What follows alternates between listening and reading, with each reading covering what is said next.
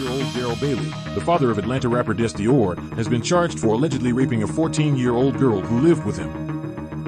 According to the North Carolina Beat, the mother of the victim said Dess Dior attempted to evict him out of her father's home after he was arrested. 51 year old Darrell Bailey, the father of Atlanta rapper Dess Dior, has been charged for allegedly raping a 14 14-